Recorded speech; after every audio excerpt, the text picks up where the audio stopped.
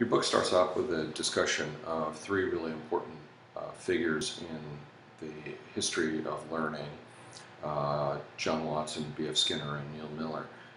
And uh, I want to make a few comments on them and clarify a few points because they're important in uh, uh, providing us a theoretical context um, in interpreting behavior and learning.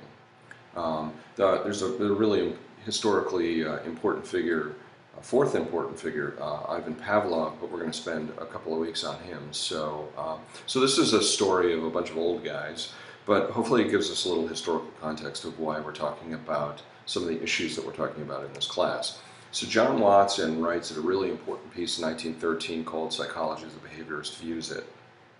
Um, and in that, he claims that psychology needs to be a purely objective branch of natural science. Um, he focuses on prediction and control of behavior, and he applies uh, these principles to both man and animal, um, animal behavior that is, or non-human animal behavior. He's heavily influenced by Pavlov, and the emphasis is on Pavlovian conditioning, or maybe what we're going to call later, we're going to call this respondent conditioning, because we're going to include a lot of other things in, in that category, um, is sometimes also called classical conditioning.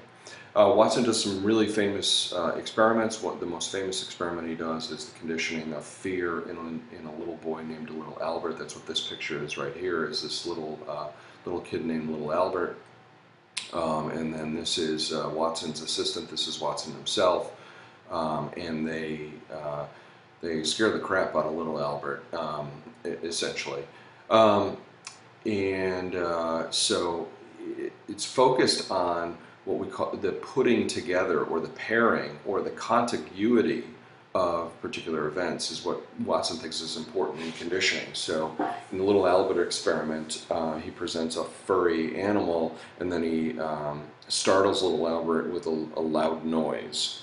Um, he bangs a, a rod behind him and scares little Albert and startles little Albert. And then through repeated pairings, uh, it comes to be that little Albert is uh, afraid of anything with sort of white fur fur on it. Um, so for it, it, was important for Watson um, uh, to consider uh, the going together, the pairing of putting two two things together.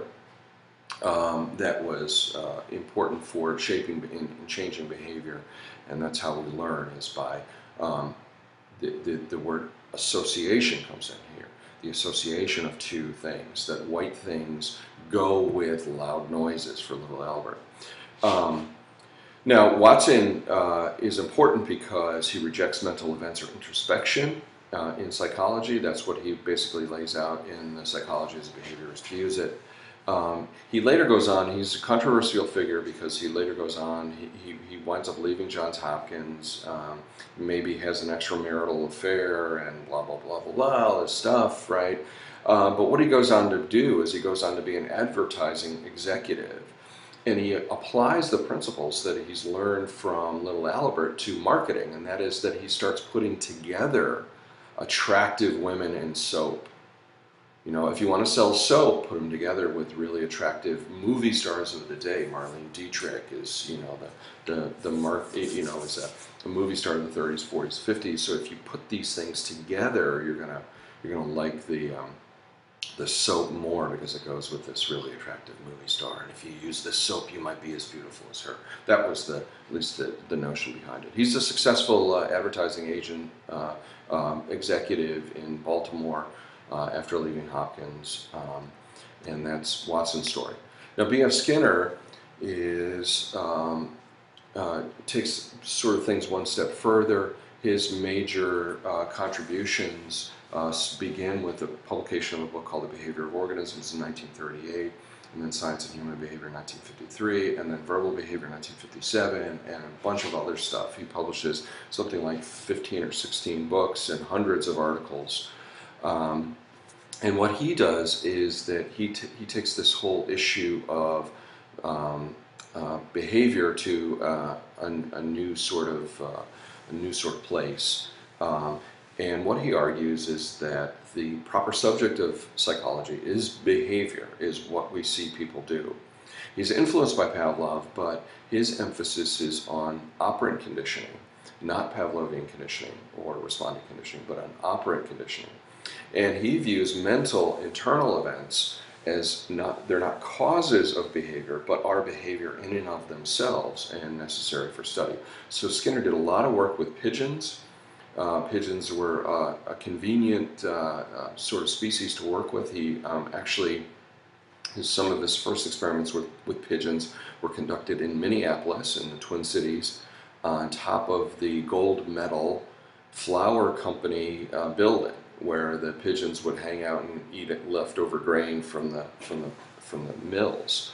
Um, he applied the principles that he discovered to human behavior. This is a picture of his daughter Debbie and his wife in what he called the baby tender. He built a box in which um, children could, uh, it was like a, he called it an air crib. Um, he was um, thoroughly uh, eviscerated and abused and, and criticized for this uh, picture and, and the air crib because he thought, um, people thought that he was uh, treating children like he was treating his pigeons. He was just putting them in boxes. But it turns out there's all these rumors about Debbie um, going crazy and committing suicide and blah, blah, blah, blah, blah. And she's uh, still alive. She lives in London. Um, she is, from all accounts, everybody has said, a lovely individual. She's actually written a response to some of these criticisms and so on. Uh, Skinner also, in the 1950s, began tinkering and toying with what he called teaching machines, and this is a version of a teaching machine. And it was a fully mechanical device to uh, help uh, kids learn things and uh, teach things. Um, and it really predates the computer. He also, um, believe it or not, uh, invented and was involved heavily in training uh, pigeons to guide missiles in World War II. This is one of the applications of, of some of his research. Neal Miller um, is a little bit later in, uh, in, the, um, in the story. And what he did was integrate behaviorally, uh, uh, behavioral and personality-based psychology. He was critical in inventing biofeedback. He was actually, this is a picture of some of the rat work that he did in which um, rats were trained to control certain physiological events. Um, and biofeedback has been a critically important uh, uh, intervention for people with all sorts of things, from migraine headaches to um, you know, all, all, all, sorts of different things. He thought a more thorough analysis of brain function was necessary, and certainly that, that is. That is. So um, when we talk about what, what has changed from Watson to Skinner, uh, Watson thought that internal events cannot be used as data in psychology, where Skinner thought that uh, in, internal events could not be used in theories of psychology. We don't want to explain behavior by appealing to internal events, but these could be data.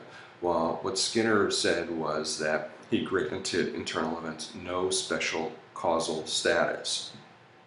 Okay, so if you um, if if a child hits a teacher and you say it's because he's angry, then uh, that would be appealing to an internal event called anger that has no special causal status in uh, in Skinner's psychology. He wanted to know. Uh, he didn't think that that really provided any advantage uh, because you still had to explain the anger. So uh, in a technical sense, um, in an academic sense, theories appealing to internal events rely on, we, we think in most cases, intervening variables or hypothetical constructs. And intervening variables are unobserved phenomena or processes or states, and they connect two or more observed variables or observed processes or states or activities. And we often think that they explain one of the states or activities or processes. Like we explain a student's aggression or student's hitting, hitting a teacher because of their anger, but we still don't understand the anger. So does it really do, a, uh, do us any service in explaining that feature? It turns out that kids hit teachers uh, or kids hit each other for a variety of different reasons, not just because they're angry. Um, it, it's a, a, more thorough assessment uh, is, is needed. Moving from Skinner to Miller, Skinner rejected intervening variables, um, but Miller thought that they were useful in predicting behavior. And uh, if, so if in fact you say to somebody, somebody's a narcissist, which is a uh, description of, you could say, of a person's behavior. They, uh, they tend to uh, think only about themselves. They're, they're very interested in themselves. They're very interested in how they look. They think everything, the world revolves around them. That's what we would call a narcissist. Uh, Miller thought Miller thought that that would be valuable because um, you know if you're going to date somebody and somebody told you he's a narcissist or she's a narcissist, that might be a valuable thing to to know. So um, the role of intervening variables in psychology is still controversial. I mean, I don't know which one it is. I think they're helpful to a certain extent, but I also think they add complexity rather than reducing it. That was Skinner's criticism, and they are likely circular and may point to issues that cannot be addressed. For example, circularity, uh, just to briefly touch on that, is when you use the term you want to define in the definition or assuming some prior understanding of some part of the term. So, for example, if we say a hill is a protrusion of land smaller than a mountain, define a mountain as a protrusion of land larger than a hill, how do we know what either one of these are? Um, there's, there's circular definitions. Likewise, in, in psychology, we may uh, think of the, the uh, concept of, uh, of intelligence as an intervening variable. We might say, why did she do that? And we say, because she's intelligent. But if you probe further and ask, how do you know he's intelligent or she's intelligent? And uh, if, the conclusion is because she does things like that, then we have a circular uh, concept. Likewise, um, Skinner uh, talked at length about thirst. Why is he drinking so much? Well, because he's thirsty, dummy. Of course, that's why he's drinking so much. Like this picture of the dog. The dog, we've seen dogs, you know, probably or videos of dogs uh, drinking a lot. Well, how do you know that he's thirsty? Well, because I can see him drinking. But the, the drinking is what we're trying to explain, we're trying to understand. And there are cases of people that drink a lot that aren't thirsty. This is uh, Kobayashi, who is a, uh, a competitive eater doing the one gallon milk challenge. Uh, people drink a lot for reasons other than thirst. So thirst is, uh, adds a level of complexity that we might not want in, in our understanding. Sociability. Why is that guy so sociable? Because he's an extrovert. That sounds like an explanation, but if you press further, how do you know that he's an extrovert? Well, can't you see how sociable he is? Uh, we, we're, we're, we're merely explaining the, the result with, with the cause. So paranoia is another one. Why is she completely suspicious of everybody's motive? Well, motives because she's got paranoid dis personality disorder, of course. Well, how do you know that she's got paranoid personality disorder? By the fact that she's so suspicious of everybody's motives. So these are circular concepts that probably lend more complexity than they need to. Why did the defendant do what he did? Because he's insane. How do you know he's insane? Because only an insane person would do that. That's a circular concept, an intervening variable or hypothetical construct that uh, are, are trouble so I would like to suggest that we try to avoid these at all costs.